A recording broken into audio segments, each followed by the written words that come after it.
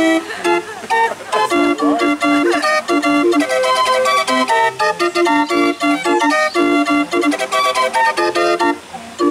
don't think i will cut out to this.